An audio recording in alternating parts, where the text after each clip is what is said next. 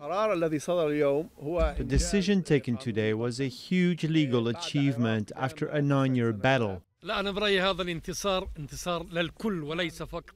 believe that this victory is for everyone and not just for the church.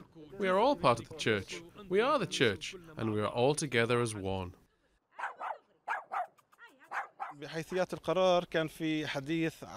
the details of the decision, there is a mention about the convent and how it should remain united with the Palestinian land on the Palestinian side, and also that damage to the owner's land should be reduced.